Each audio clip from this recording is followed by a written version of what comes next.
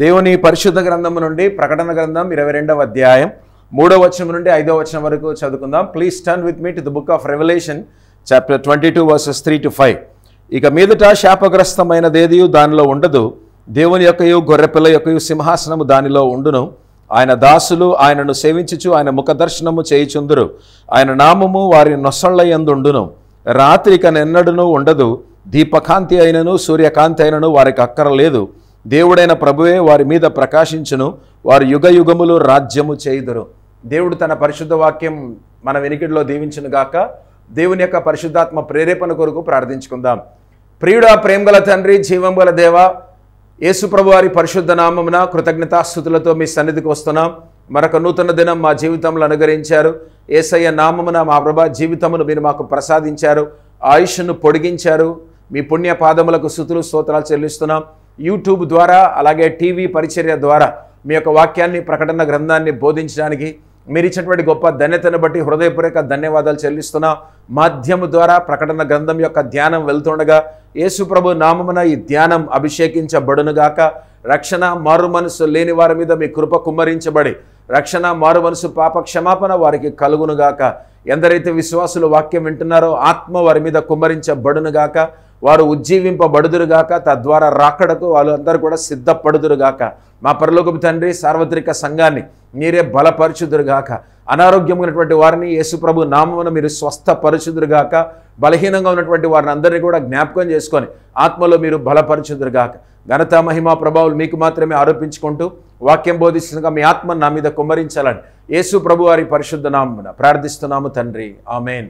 దేవుడి నామానికి స్తోత్రాలు వందనాలు. మరొకసారి విశాఖపట్నంలో ఉన్న నాసరీన్ మినిస్ట్రీస్ తరపున నాసరీన్ బైబిల్ కాలేజ్ తరపున నాసరీన్ సంఘం తరపున నేసరిన్ టీవీ పరిచయ తరపున నేసరిన్ జూమ్ మినిస్ట్రీస్ తరపున నేసరిన్ యూట్యూబ్ మినిస్ట్రీస్ తరపున మన ప్రభును రక్షకుడు దేవుని కుమారుడైనటువంటి యేసు ప్రభు వారి పరిశుద్ధ నామమున మీ అందరికీ శుభములు తెలియజేస్తున్నాను. దేవుని యొక్క మహాకృప విజయనగరంలో ఉన్నటువంటి సిమ్స్ ప్లాటినం బ్యాప్టిస్ట్ సంఘం తరపున కూడా మీ అందరికీ యేసు ప్రభు వారి శ్రేష్టమైన నామమున శుభములు తెలియజేస్తున్నాను. దేవుని యొక్క మహాకృప ఆ కాలంలో ఇస్రాయలు అబీబ్ నిసాన్ నెల అనేటువంటి ఆ నెలలో పద్నాలుగవ తారీఖున వాళ్ళు పస్కా పండుగను ఆచరించారు. పాత నిబంధనల్లో పస్కా గొర్రెపిల్ల ఇస్రాయల కొరకు మాత్రమే మరణించిందేమో కానీ దేవుని గొర్రెపిల్ల అయిన యేసుప్రభు గారు లోక పాపమును మోసుకొని పోయేటువంటి దేవుని గొర్రెపిల్లగా యేసుప్రభారు ఈ లోకంలో జన్మించి మన కొరకు మరణించగా మనం కూడా దేవుని యొక్క మహాకృప అబీబ్ నిస్సాన్ నెల కాకపోతే గ్రెగేరియన్ క్యాలెండర్ ప్రకారం పదిహేనవ తారీఖున మనం అందరం కూడా పస్కా పండుగను క్రైస్తవ భాషలో గుడ్ ఫ్రైడేగా జరుపుకున్నాం. అందుని బట్టి దేవుడికి వందనాలు. పాత నిబంధనలో ఉన్నటువంటి ఏడు విమోచన పండుగల్లో ప్రథమ ఫలముల పండుగ వారికి ఉంటుండగా యేసుప్రభారు పునరుత్నమై తిరిగి లేచారు కాబట్టే పునరుత్నమునకు ప్రథమ ఫలము క్రీస్తే అటువంటి మాట పౌలు కొరంతి పత్రికలో రాస్తాడు గనక. యేసుప్రభారు మరణమును చేయించి తిరిగి లేచారు కాబట్టే మనము కూడా పాత నిబంధనలో ఉన్న ప్రథమ ఫలముల పండుగను దేవుని కృపను బట్టి పునరుత్న పండుగగా మనం అందరం కూడా జరుపుకున్నాం. అందరి బట్టి దేవుడికి స్తోత్రాల వందనాలు. దాదాపు ఐదారు సంవత్సరాలుగా ప్రకటన గ్రంథాన్ని మాధ్యము ద్వారా అనగా టీవీ ద్వారా యూట్యూబ్ ద్వారా ప్రకటించడానికి బోధించడానికి దేవుడిచ్చినటువంటి కృపను బట్టి తండ్రి కుమార పరిశుద్ధాత్మ త్రేక దేవునికి హృదయపూర్వక ధన్యవాదాలు చెల్లిస్తున్నాను. విదేశాల్లో ఉన్నటువంటి వారు కూడా దేవుని యొక్క మహాకృప గ్రేట్ బ్రిటన్ అవనిగాక యునైటెడ్ కింగ్డమ్ అవనిగాక యునైటెడ్ స్టేట్స్ ఆఫ్ అమెరికా అవనిగాక యునైటెడ్ అరబ్ ఎమిరేట్స్ అవనిగాక లేదా లండన్లో ఉన్నటువంటి వారు కూడా దేవుని కృపను బట్టి వాక్యాన్ని వింటూనే ఉన్నారు ప్రకటన గ్రంథాన్ని.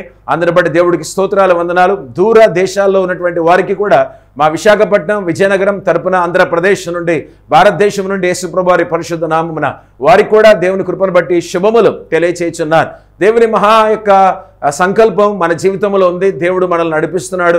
గడిచినటువంటి వారం ఇరవై రెండవ అధ్యాయం మొదటి రెండు వచనాలు ప్రకటన గ్రంథం ధ్యానించాం. చివరికి ఉద్దేశం వచ్చేసాం దేవుని కృప ఇక కొన్ని వారాల్లో ఇరవై రెండవ అధ్యాయాన్ని పూర్తి చేసుకుంటాం. అనగా ప్రకటన గ్రంథాన్ని మనం అందరం కూడా పూర్తి చేసుకొని ఉన్నాం. అందరి బట్టి దేవుడికి స్తోత్రాలు వందనాలు. గడిచిన వారం ఇరవై రెండవ అధ్యాయం. మొదటి రెండు వచనాలు ధ్యానించాం. ఇప్పుడు మాత్రం మరి మూడవ వచనం ప్రారంభిస్తున్నాను.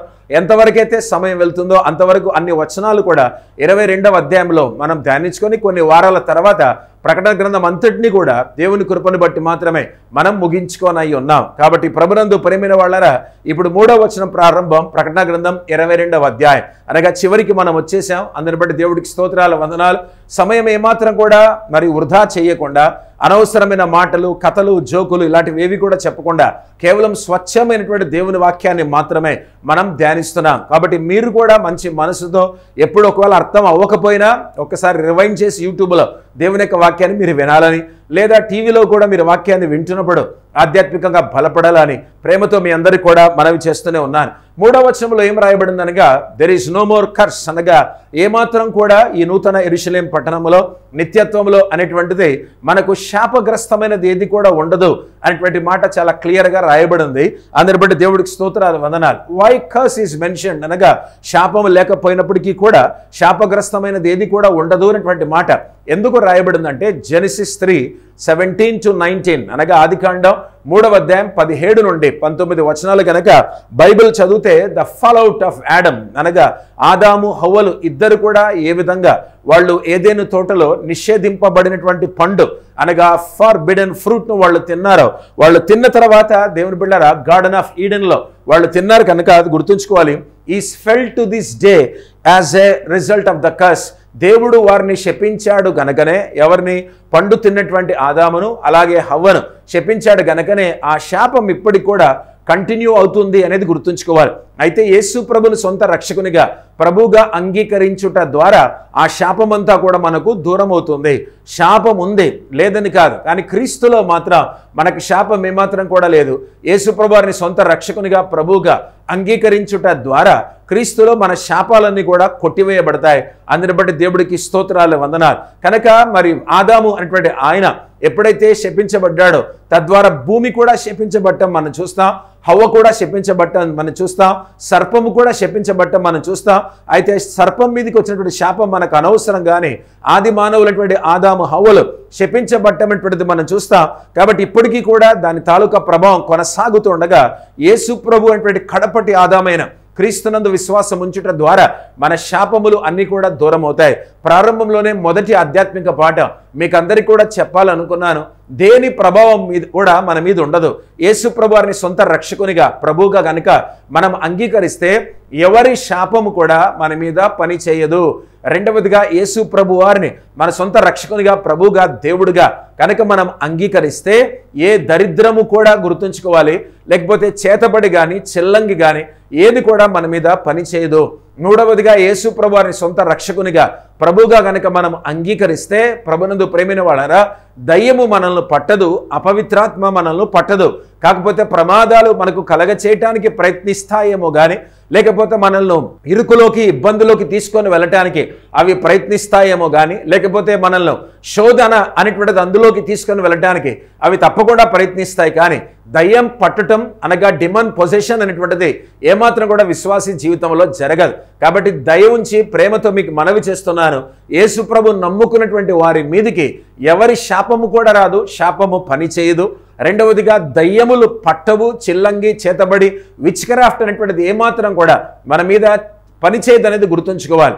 ఎందుకనంటే ఏసు రక్తమే జయం గనక ఏసు ప్రభు రక్తములో జయం ఉంది గనక సాతాను యేసుప్రభు రక్తానికి ఆయన నామానికి భయపడుతుంది కనుక ఆయన రక్తంలో మన పాపాలు కడుక్కున్నప్పుడు తప్పనిసరిగా ఆ రక్తం యొక్క శక్తి మన మీద ఉంటుంది కాబట్టి దయ్యం తాలూకా ప్రభావం ఏమాత్రం కూడా మన మీద ఉండదు. అనగా డిమన్ పొజిషన్ అటువంటిది దయ్యం పట్టడం అటువంటిది ఏమాత్రం కూడా జరగదు. ఎవరో మనల్ని శపించినంత మాత్రాన వారి శాపం మన మీద పనిచేయదు. ఈవెన్ దేవుని శాపం మన మీద ఉన్న క్రీస్తు రక్తములో మన పాపాలు కడుక్కొనుట ద్వారా ఆ దేవుని శాపం కూడా దూరం అవుతుంది కారణం తన కుమారుడైన యేసు ప్రభువార్ మనలాంటి వారి కొరకు రక్తాన్ని కార్చినప్పుడు మనం ఆయన సొంత రక్షకునిగా ప్రభువుగా అంగీకరించాము గనుక. అందుకనే దెర్ ఇస్ నో మోర్ కస్ అనగా నూతన ఇరుషులేం పట్టణములో నిత్యత్వములో వీటన్నిటిలో మనం ప్రవేశిస్తున్నప్పుడు దేవుని బిడ్డారా పరలోక రాజ్యంలో దేవుడి సన్నిధిలో ఆ గుర్తుంచుకోవాలి బాగా. సా శాపం అనేటువంటిది ఏమాత్రం కూడా ఉండదు. శాపగ్రస్తమైనది ఏది కూడా అక్కడ ఉండదు అనేటువంటి మాట చాలా క్లియర్గా రాయబడి in heaven the curse is gone అనగా పరలోకములో శాపం అనేటువంటిది పోయింది and it is replaced by the throne of God and the lamb దేవుని యొక్క సింహాసనం గొర్రెపిల్ల యొక్క సింహాసనం అక్కడ ఉంది కాబట్టే ఆ సింహాసనాలను బట్టే ప్రబలందు ప్రేమైన వాళ్ళరా శాపం దూరం అవుతుంది and for your kind information book of Revelation is a throne book అనగా ప్రకటన గ్రంథం అనేటువంటిది దేవుని యొక్క సింహాసనపు గ్రంథం అనేది గుర్తుంచుకోవాలి. కనుక ఆయన సింహాసనం ఎక్కడైతే ఉంటుందో అన్నీ కూడా దూరం అవుతాయి. రెండవ ఆధ్యాత్మిక పాఠం మీకు ప్రేమతో మనవి చేస్తున్నాను. మీరు ప్రతిదినము కూడా కుటుంబ ప్రార్థన చేయండి. కొందరిని నెరుగుదును ప్రతిదినం కూడా మూడు సార్లు కుటుంబ ప్రార్థన చేస్తారు.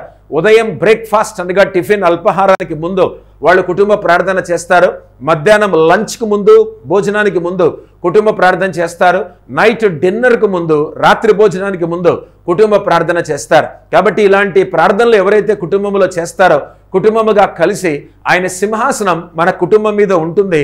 ఒక్కసారి దేవుని సింహాసనం మన కుటుంబం మీద ఉన్నప్పుడు అకాల మరణాలు రావు. అనారోగ్యానికి మనం గురిక అప్పులకు మనం గురిక అస్వస్థతకు బలహీనతలకు మనం ఏమాత్రం కూడా గురిక. దారిద్రం అనేటువంటిది రాజ్యమేలదు మన యొక్క గృహములో.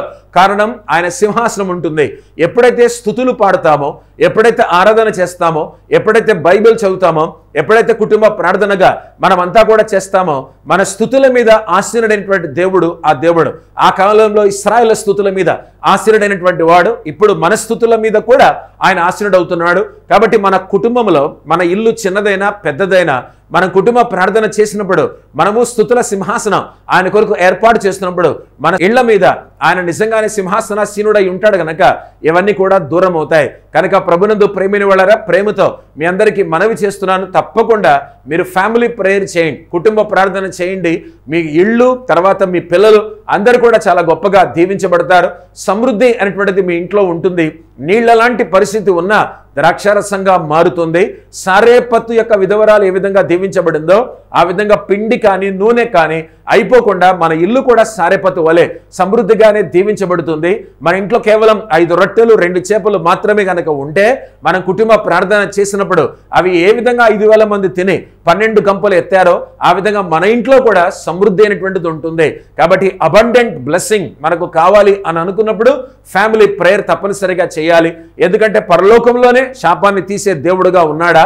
నిత్యత్వంలోనే శాపాన్ని తీసేటువంటి దేవుడుగా ఉన్నాడా? ముమ్మాటికి కాదు. మన జీవితంలో కూడా శాపాన్ని తీసేటువంటి దేవుడుగా యేసుప్రభు వారు ఉన్నారు. మన ఇండ్లల్లో కూడా శాపమును తీసేటువంటి దేవుడుగానే యేసుప్రభు వారు ఉన్నారు. కనుక రెండవ ఆధ్యాత్మిక పాఠం మన ఇండ్లలోంచి మనలోంచి శాపమంతా కూడా దూరం అవ్వాలి అని అన్నప్పుడు కుటుంబ ప్రార్థన తప్పనిసరిగా చేయాలని ప్రేమతో మీ అందరికీ కూడా మనవి చేస్తున్నాను curse came as a result of Lucifer and Adam అసలు శాపం ఏ విధంగా వచ్చింది? ఏదైనా తోటలోకి అనగా ప్రభనందు ప్రేమటువంటి వాళ్ళరా? దానికి కారణం ఎవరనగా లూసిఫర్ అనేటువంటి సాతాను అనేటువంటి వాడే కారణం. ఆ తర్వాత ఆ సాతాను సర్పములోకి ప్రవేశించి అవతో మాట్లాడిన తర్వాత లా ఆఫ్ డబుల్ రెఫరెన్స్ అనేటువంటిది మనం చూస్తాం. ఏదైనా తోటలో అంటే దేవుడు శపిస్తున్నప్పుడు అటు సర్పాన్ని శపించాడు అటు సాతాన్ని కూడా శపించాడు. దాన్నే లా ఆఫ్ డబుల్ రెఫరెన్స్ అని అంటారు. కాబట్టి వారిని కూడా వాటిని కూడా శపించినట్టుగా మనం చూస్తాం. అయితే ఈ శాపం వాటి ద్వారానే భూమి మీదకి వచ్చింది అనేది ఆది కాండంలో మనకు కనిపిస్తూనే ఉంది. అయితే దేవుని యొక్క మహాకృప యేసుప్రభు వారిని సొంత రక్షకునిగా ప్రభుగా అంగీకరించిన తర్వాత యుగాంతమందు ఎస్కటాలజీ అని అంటాం. యుగాంతమందు చాలామంది కూడా యుగాంతం గురించి సరిగా బోధించరు సరిగా ప్రశ్నలు కూడా అడగలేకపోతూనే ఉన్నారు. అది వాళ్ళు కూడా తెలుసుకోవాలి. నోటికొచ్చింది తోచింది చెప్పుకొని వెళ్ళిపోవడం యుగాంతం అనేటువంటిది కాదు.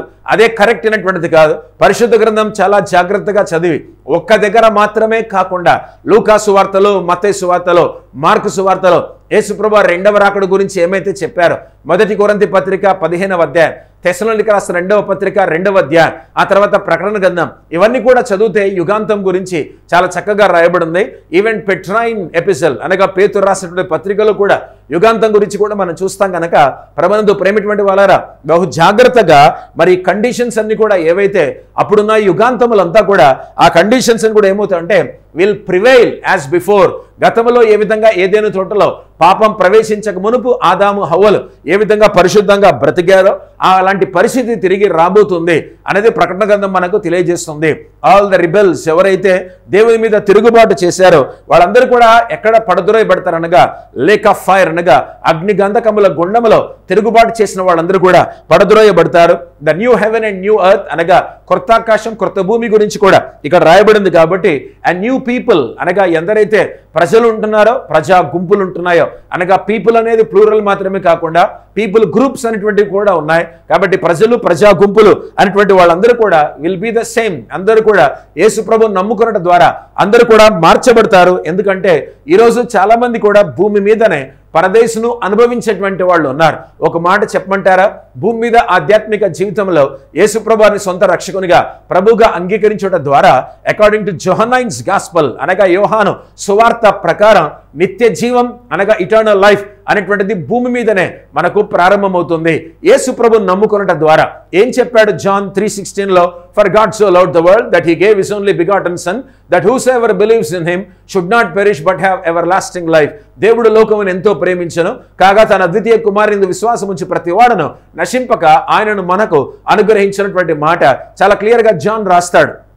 మూడవ అధ్యాయం పదహారవ వచనం యోహాన్ సువార్తలో. సో యేసుప్రభు వారి సొంత రక్షకునిగా ప్రభుగా మనమందరం కూడా అంగీకరించడం ద్వారా ఎవర్లాస్టింగ్ లైఫ్ ఇటర్నల్ లైఫ్ అనేటువంటిది చనిపోయిన తర్వాత ప్రారంభం అవ్వటువంటిది కాదు. జాగ్రత్తగా అర్థం చేసుకోవాలి. అతడు విద్య లేని పామరుడైన ఒక ఫిషర్మ్యాన్ కమ్యూనిటీకి చెందినవాడైన జాన్ ది అపోజల్ దేవుని బిళ్ళరా ఎంత చక్కగా యోహాన్ సువార్తలో రాస్తానంటే eternal life begins on earth అనగా యేసు ప్రభును నమ్ముకున్నట ద్వారానే యేసుప్రభును నమ్ముకున్న మరుక్షణమే నిత్య జీవం భూమి మీద ప్రారంభమవుతుంది. ఆ నిత్య జీవం రెండు విధాలుగా కొనసాగుతుంది. ఒకటి ఏసుప్రభు వారు మధ్యాకాశానికి వస్తే మనమందరం కూడా ఎత్తబడతాం. కాబట్టి నిత్య జీవితం జీ జీవంలో అలా ప్రవేశిస్తాం. అది కొనసాగుతూనే ఉంది. రెండవదిగా మనం చనిపోతే మనం కేవలం నిద్రించుచున్నామే తప్ప చనిపోలేదు అది మరణం కాదు అనేది మనం గుర్తుంచుకోవాలి. కాబట్టి ఎప్పుడైతే మనం ఒకవేళ చనిపోతే యేసుప్రభార మధ్యాకాశానికి వచ్చినప్పుడు మనం కూడా రిజరెక్ట్ అవుతాం మనం కూడా పునరుత్నమై తిరిగి లేస్తాం. ఆ తర్వాత అదంతా కూడా కంటిన్యూ అవుతుంది. అంతవరకు కూడా అంతకుముందు ఆత్మలు అనేటువంటివి ఆయన సన్నిధిలోనే ఉంటాయి. కాబట్టి జాన్ ఆయన దేవుని బిడ్డ అపోసల్ అపోసినటువంటి యోహాను యోహాను సువార్తలో అంతా కూడా చాలా జాగ్రత్తగా చదివితే ఇటర్నల్ లైఫ్ నిత్య జీవం అనేటువంటిది భూమి మీదనే ప్రారంభమవుతుంది.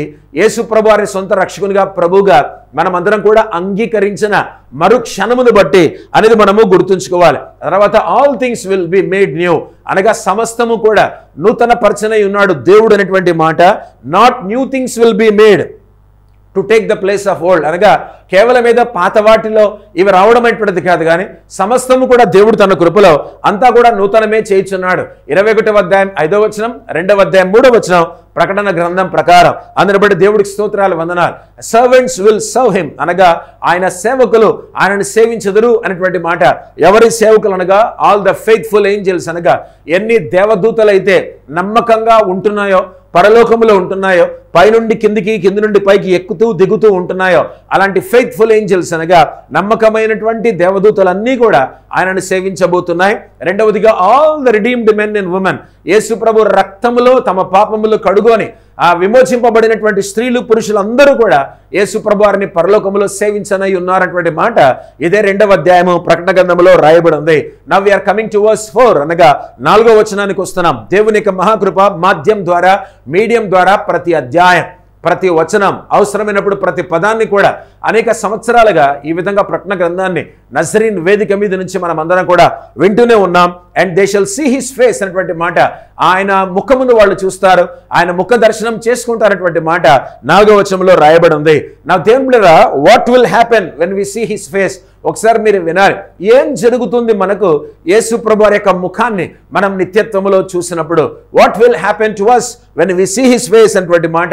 లైక్ డేవిడ్ అనగా దావిద్ అంటాడు we shall at last be at last be truly satisfied అనగా చివరిగా అంతిమంగా తుదకు మనమందరం కూడా చాలా తృప్తి చెందుతామన్నటువంటి మాట దావీదు రాస్తూనే ఉన్నాడు. కాబట్టి if you go to the psalter అనగా కీర్తనల గ్రంథం పదిహేడవ కీర్తనలో గనక వెళ్తే ఆ పదిహేడవ వచనంలో దావీదు అనేటువంటి మాట ఏమనగా నేనైతే నీతి గలవాడనే చూడండి మాట సాల్టర్ సామ్ సెవెంటీన్ ఫిఫ్టీన్ కీర్తనల గ్రంథం పదిహేడవ అధ్యాయం పదిహేడవ వచనం.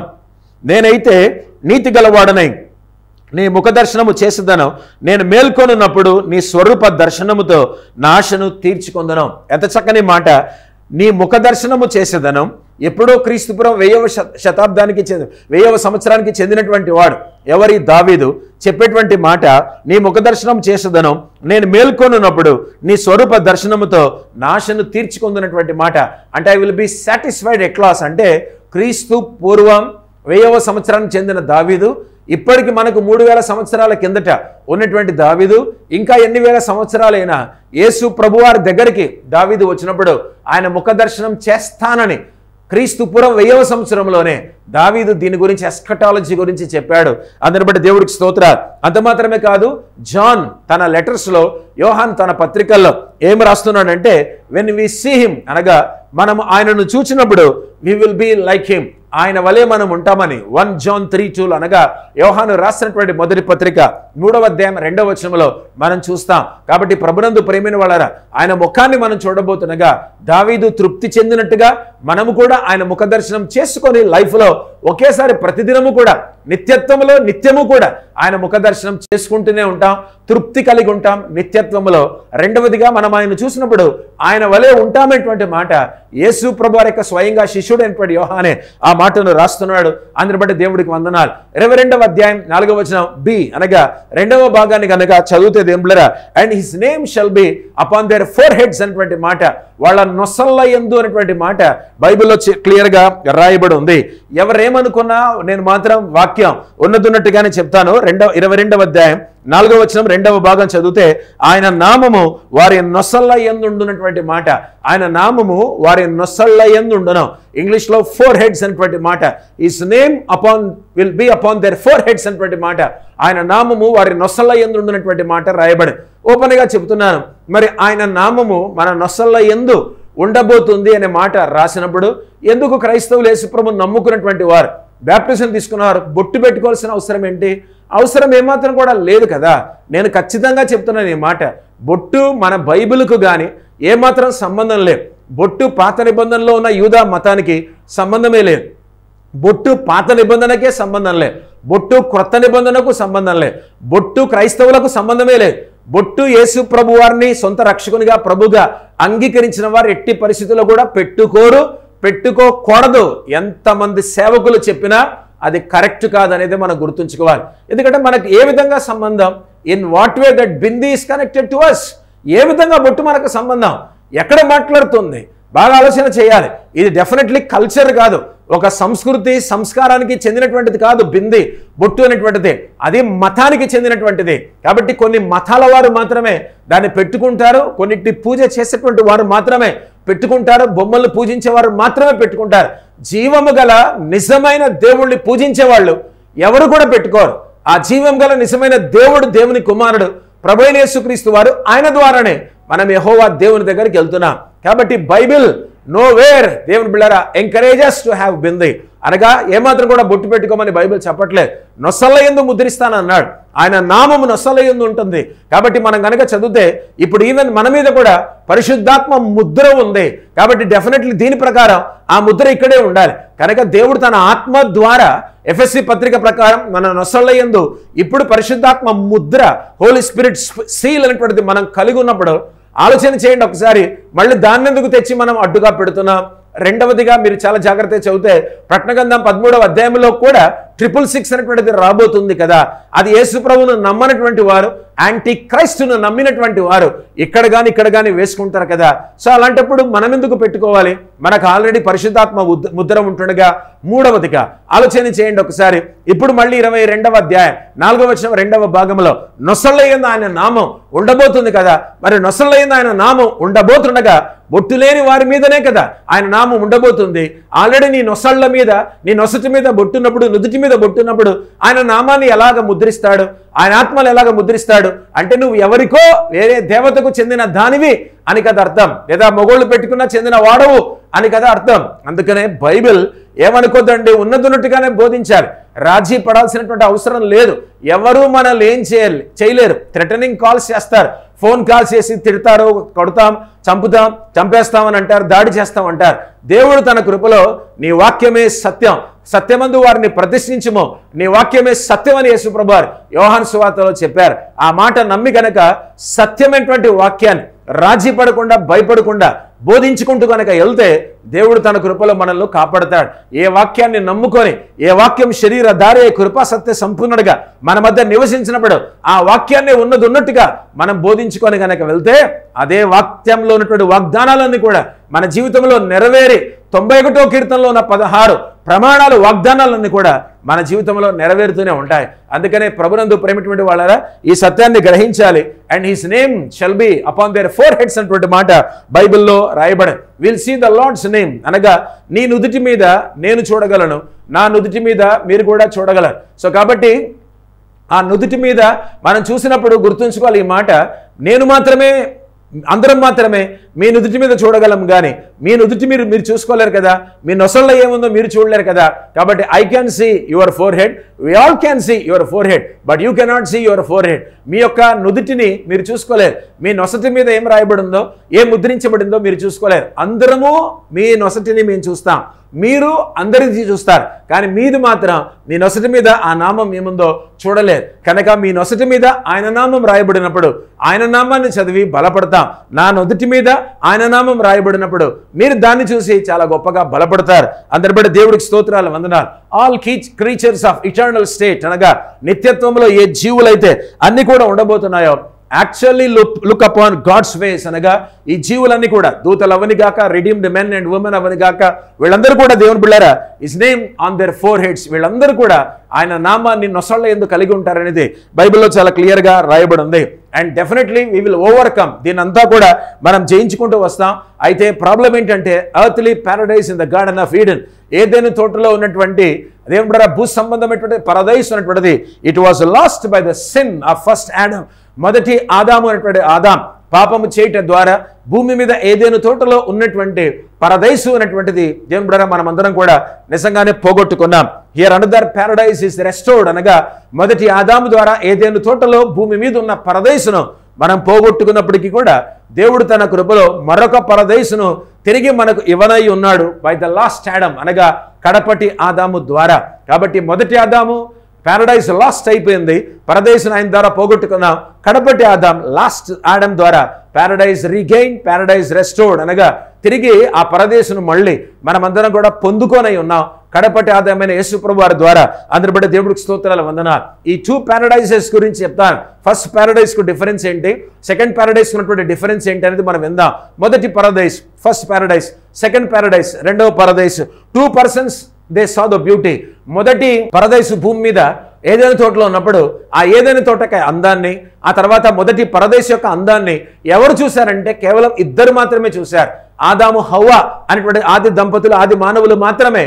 They saw the beauty of the first paradise మొదటి పరదేశ్ యొక్క అందాన్ని వాళ్ళిద్దరు మాత్రమే చూశారు. జాగ్రత్తగా మీరు తేడా గమనించారు then what about the second paradise అనగా రెండవ పరదేశ్ గురించి ఏంటి అని అన్నప్పుడు all people cities and nations will see the second paradise who have accepted Jesus Christ యేసు ప్రభువారి సొంత రక్షకునిగా ప్రభుగా ఎందరైతే వాళ్ళు అంగీకరించారో మారు మనసు రక్షణ పాప క్షమాపణ అనేటువంటిది పొందుకున్నారో వాళ్ళందరూ కూడా ప్రజలందరూ కూడా ప్రజా గుంపులు కూడా అన్ని గోత్రాల వాళ్ళు కులాల వాళ్ళు మతాల వారు ఆ తర్వాత వంశం వారు వీళ్ళందరూ కూడా యేసుప్రభునందు విశ్వాసమించిన ప్రజా గుంపులు ఆయా భాషలు మాట్లాడేవారు ఆయా పలుకులు పలిగేటువంటి వారందరూ కూడా జనాంగాలన్నీ కూడా దేశాలన్నీ కూడా ప్రజలందరూ కూడా యేసుప్రభు నమ్ముకుంటే వాళ్ళందరూ కూడా దీని కూడా కడపట్టి ఆదామైన క్రీస్తు ద్వారా అందరూ కూడా రెండవ పరదేశను చూడనే ఉన్నారు.